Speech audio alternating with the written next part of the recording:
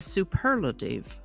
Superlative is an adjective, usually, but it can also be a noun.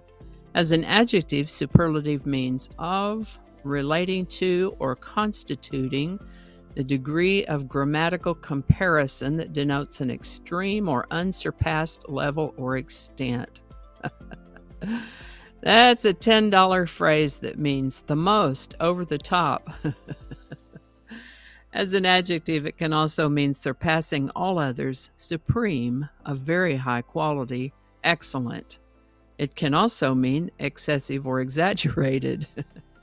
As a noun, superlative refers to something that has been described as superlative, such as a person or thing or the ultimate degree of something.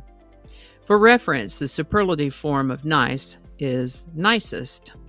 The superlative form of bad is worst. Example sentences might include the superlative performance of the lead actor captivated the audience. Or the panoramic view from the mountaintop was superlative with its grand and beautiful vistas. This word comes to us from Middle English, Anglo French before that, and Latin before that.